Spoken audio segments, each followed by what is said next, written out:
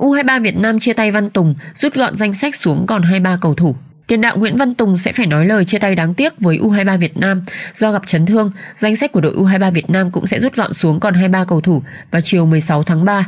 Theo thông tin mà bóng đá Plus có được, huấn luyện viên Chuasier sẽ rút gọn danh sách từ 34 cầu thủ, đã bao gồm hai gương mặt mới được bổ sung là Huỳnh Công Đến và Nguyễn Thanh Nhàn, xuống còn 23 cái tên.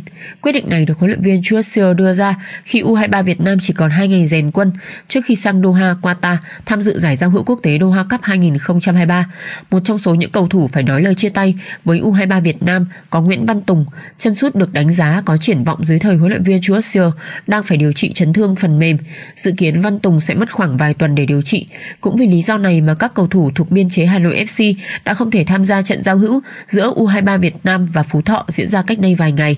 Trong trận đấu đó, Quốc Việt Tiền đạo của U20 Việt Nam cũng không thể thi đấu vì bị ốm, nhưng sau đó anh đã quay trở lại tập luyện bình thường với toàn đội.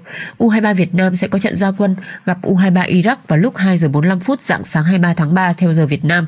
Sau đó vào lúc 0 giờ 30 dạng sáng 26 tháng 3, đoàn quân của ông Philip Chuasier sẽ đối đầu với U23 UAE.